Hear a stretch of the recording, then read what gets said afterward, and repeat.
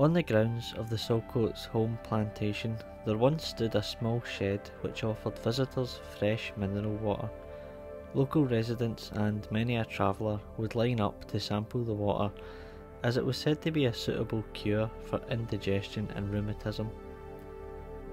However, the popularity of mineral springs began to dwindle after World War II, and the mineral well would be demolished shortly thereafter.